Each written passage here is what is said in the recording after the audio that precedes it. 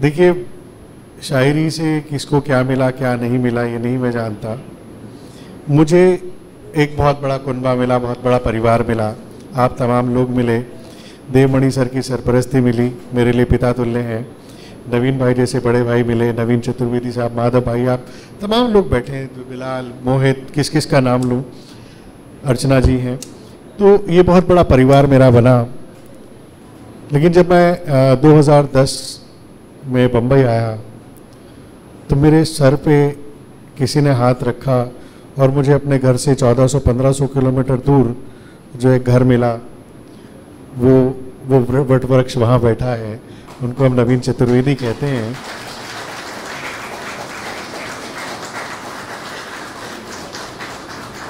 बड़ी, बहुत पुण्य भूमि से आते हैं, मथुरा से इनका संबंध है। तो ज़ाहिर बात है, मथुरा से हैं तो ब्रज बोलते हैं। और ब्रजभाषा से प्यार होना भी बहुत ज़ाहिर सी बात है। लेकिन बड़ा अनूठा इनका रचना रचना कर्म रहा। शुरुआत में इन्होंने हिंदी कविता से की, ब्रज में कविताएँ कहीं, छंद कहे। फिर ये गज़ल की तरफ़ माइल हुए तो इन्होंने हिंदुस्तानी में गज़लें कही, उर्दू में गज़लें कहीं। फिर इनको ये लगा कि गज़ल ब्रज में भी होनी चाहिए। और जबकि ब्रज का जो विधान है, वो बिल्कुल उर्दू जैसा है। जो खड़ी बोली और ब्रज के बीच की जो कुछ समागम सा है, वही उर्दू का तो इन्होंने ब्रज में गज़ल कह दी। अब, यार मैं तो मराठी भी जानता हूँ, मैं तो मराठी भी बोलता हूँ तो मैं तो मराठी में भी गज़ल कह दूँगा। तो उन्होंने मराठी में भी गज़ल कह ली। इनको कहा कि भैया मुझे तो गुजराती भी आती है, मैं तो कच्छी भी आती है, मैं तो उसमें भी गज़ल कह दूँगा। अब मैं तो उस दिन का इंतज़ार कर रहा हूँ जब ये मथुरे के चतुर्वेदी मुझे कहें कि सिद्धार्थ एक सिंधी में गज़ल सुन एक पंजाबी में सुन।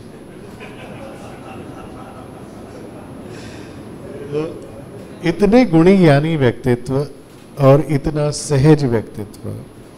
मतलब अ, मेरे दोनों भतीजों की शादी हो चुकी पोते पोतियों वाले हो चुके हैं बड़े भाई लेकिन फिर भी मैं इनसे इतनी लिबर्टी लेता हूँ कि खूब मज़ाक करता हूँ खूब मतलब वो बड़े भाई हैं, लेकिन मेरा दोस्ती वाला रिश्ता है। और जब मैं इनकी शायरी पढ़ता हूँ तो एक एक लफ्ज़ से इस्तेफादा करता हूँ एक एक लफ्ज़ सिखाता है। बहुत आसानी से, बहुत सहजता से बड़ी गहरी बात कह जाते हैं।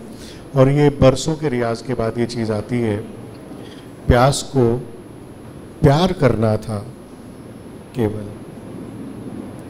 प्यास को प्यार करना था, केवल एक अक्षर न बदल पाए हो।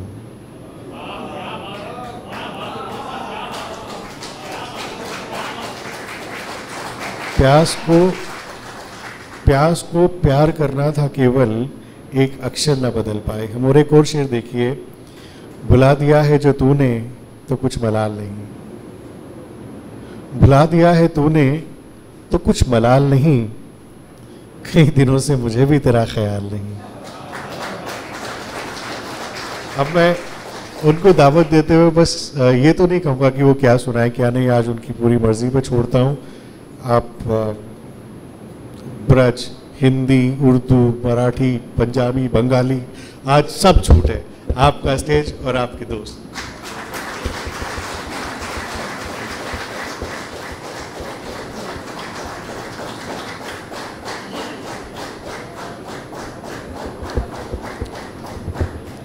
सबसे पहले नवीन नवाज़ साहब आपको बहुत बहुत साधुवाद देना चाहता हूँ।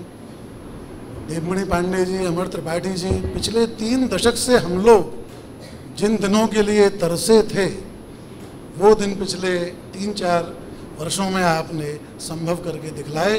नवीन नवाज़ साहब के लिए जोरदार तालियाँ होनी चाहिए। आप वास्तव में साधुवाद के अधिकारी हैं। अच्छा साथियों मैं खास करके बच्चों से कहना चाहता हूँ कि जब हम लिखना या पढ़ना शुरू करते हैं तो रोज़ हमको लगता है हमको कोई बुलाए, हमको सुने, हमको मंच मिले। लेकिन धीरे धीरे ऐसा लगने लगता है, यार, क्या पढ़ने का? जिसको पढ़ना होगा, पढ़ लेगा। तो अब यहाँ आकर प्यास और भूख थोड़ी कम होने लगती है, और तालियों की गड़गड़ाहट अच्छी सबको लगती है, पर ऐसी तृष्णा नहीं रह जाती है। तो जहाँ आपको समझ में आए, मैं आज अपने मन की चीज़ें पढ़ना चाहता हूँ। आपको अच्छा लगेगा। निवेदन करता हूँ कि व्यर्थ की बातों को, व्यर्थ की बातों को हमने रात दिन सोचा बहुत है। व्यर्थ की बातों को हमने रात दिन सोचा बहुत है। क्या कहेंगे सब? हमें इस बात की चिंता बहुत है। व्यर्थ की बातों को हमने रात दिन सोचा बहुत है। क्या कहेंगे सब? हमें इस बात की चिंता बहुत है और यह चटोरी जीभ। यह चटोरी जीभ ही भरमा रही है हम सभी को। यह चटोरी जीभ ही भरमा रही है हम सभी को। पेट भरने के लिए तो पाव भर आटा बहुत है।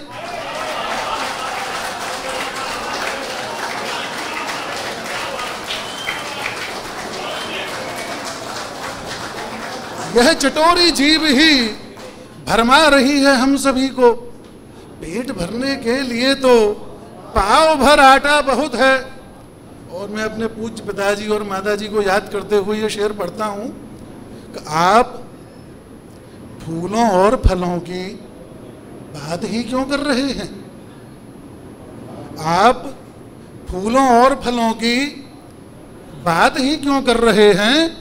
वृक्ष हैं माता पिता और वृक्ष की छाया बहुत है। आप फूलों और फलों की, आप फूलों और फलों की बात ही क्यों कर रहे हैं? वृक्ष हैं माता पिता और वृक्ष की छाया बहुत है। थैंक यू वेरी मच वृक्ष हैं माता पिता और वृक्ष की छाया बहुत है। और मेरी बिटिया बैठी है यहाँ, मधु, पूनम कहाँ गई? इन दोनों बिटियाओं को याद करके शेर पढ़ता हूँ। सुंदरकांड में एक चौपाई आती है आदरणी, कि तृण धर ओट कहत वैदेही। अब सुनिएगा, कि जानकी की वंश जाओ, जानकी जानकी की वंश जाओ, धर्म ध्वज गिरने न देना। जानकी की वंश जाओ, धर्म ध्वज गिरने न देना। अरे दुष्ट रावण के लिए तो एक ही तिनका बहुत है।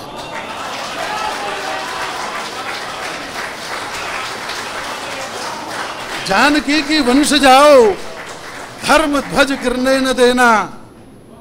दुष्ट रावण के लिए तो एक ही तिनका बहुत है। अच्छा ये शेर जब मैंने पढ़ा तो मेरे कुछ पुरुष मित्र बोले, यार सब थोड़े रावण होते हैं। तो मैंने कहा, बात तो सही है यार। तो एक पलट कर भी शेयर कह रहा हूँ, आदरणीय सीमा जी मेरी बात से सहमत होंगे कि आज भी सर्वत्र कुछ ऐसे पुरुष भी हैं जगत में। आज भी सर्वत्र, आज भी सर्वत्र कुछ ऐसे पुरुष भी हैं जगत में जिनका कहना है कि राघव के लिए सीता बहुत है। आज भी सर्वत्र कुछ। क्यों सीमा जी सही कह रहा हूँ ना? आज भी सर्वत्र कुछ ऐसे पुरुष भी हैं जगत में जिनका कहना है कि राघव के लिए सीता बहुत है। देखो, हम यहाँ अधिकांश पढ़ने लिखने वाले लोग हैं और हम ये जानते हैं कि कुछ न कुछ घटनाएँ हमारे इर्द गिर्द जो होती हैं, वहाँ से हमको इंस्पिरेशन मिलता है और फिर हम कोई ना कोई तस्वीर बनाते हैं। हम सब पढ़ने लिखने वाले लोग हैं इसमें से अधिकांश।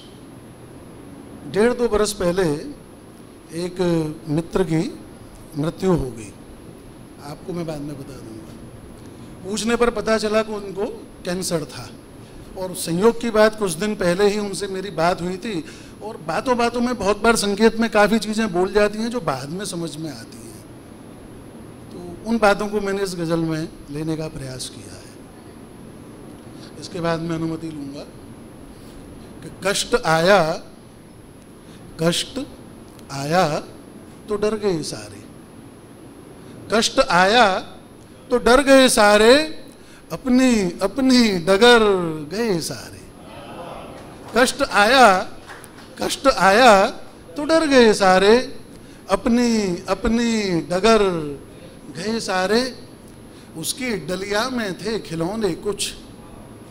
उसकी उसकी डलिया में थे खिलौने कुछ, भीड़ आई, बिखर गई सारी।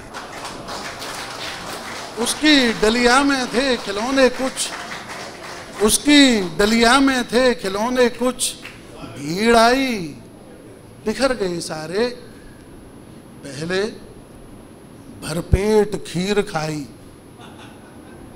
पहले भरपेट खीर खाई, फिर छेद पत्तल में कर गए सारे।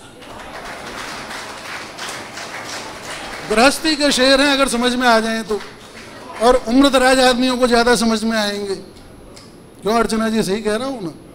कि कष्ट आया कष्ट आया तो डर गए सारे, अपनी अपनी डगर गए सारे। उसकी डलिया में थे खिलौने, कुछ भीड़ आई, बिखर गए सारे। पहले भरपेट खीर खाई, फिर छेद पत्तल में कर गए सारे।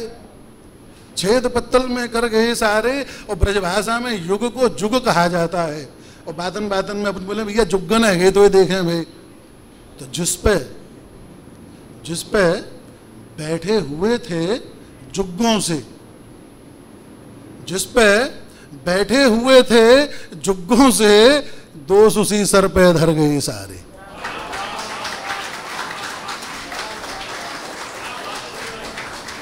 जिस पे बैठे हुए थे, जिस पे बैठे हुए थे, जुग्गों से दोष उसी सर पे धर गए सारे। और अच्छे लोग भी होते हैं, ऐसी बात नहीं है।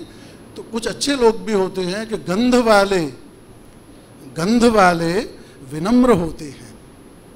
गंध वाले विनम्र होते हैं, फूल जितने थे, झर गए सारे। फूल जितने थे, झर गए सारे, और अंतिम शेर मेरा अनुभव का शेर है। आपका भी अनुभव हो सकता है, और नहीं हो तो मेरा निवेदन है आपसे, आप इस बात का अनुभव करें। द्वारकाधीश से मिला जो भी। बहुत ध्यान से सुनिएगा कि द्वारकाधीश से द्वारकाधीश से मिला जो भी, उसके भंडार भर गए सारे। उसके भंडार भर गए। थैंक यू वेरी मच मैं ब्रज की दूसरी गज़ल सुना देता हूँ। एक कहावत है कि रोते रोते आँखों का सूख जाना, या कहते हैं आँखों का पानी मर जाना, या आँखों का पानी नहीं मरना। और हम सब जानते हैं कि कंकर कंकर में शिव शंकर विद्यमान हैं। हम सब के अंदर कहीं ना कहीं शंकर का तत्व अस्तित्व में है। तो वे कौन सी घटनाएँ हैं? वे कौन सी दशाएँ हैं जब एक सामान्य व्यक्ति में हमको भूतनाथ, भोलानाथ के दर्शन होने लगते हैं? ऐसी कुछ घटनाओं को मैं आपके सामने रखता हूँ। ब्रजभाषा की गज़ल है कि खुश्क अखियान में खुश्क अखियान में। अच्छा उसके पहले एक बात और है कि कृष्ण को भी नटराज कहते हैं और शिव को भी नटराज कहते हैं। दोनों को नटराज कहा जाता है कि खुश्क अखियान में जो पानी है, बहुत ध्यान से सुनना बच्चों, खास करके आपसे निवेदन करता हूँ, क्योंकि आपको नई शायरी करनी है है पुरानी बातों में से कैसे तह निकाली जाती है, उसके लिए मैं आपसे निवेदन करता हूँ कि खुश्क अखियान में जो पानी है यही नटराज की निशानी है। कंकर कंकर में शिवशंकर कैसे होता है? मतलब हमारे पूर्वज जो लग गए, वो झूठ थोड़े लग गए हैं। हमको कोड्स को डिकोड करने की आवश्यकता है, उन बातों को समझने की आवश्यकता है। कि खुश्क अखियान में जो पानी है यही नटराज की निशानी है। और प्रीत की रीत हम न छोड़ेंगे। प्रीत की रीत हम न छोड़ेंगे। अरे, यह बीमारी तो खानदानी है। प्रीत की रीत हम न छोड़ेंगे। यह बीमारी तो खानदानी है। यही नटराज की निशानी है। जो प्रेम करता है, वो शंकर है। यही नटराज की निशानी है। जीवन का आरंभ आता है, एक आशा होती है। समापन आते आते या तो संतोष आ जाता है या करना पड़ता है। लेकिन उसके मध्य में क्या है?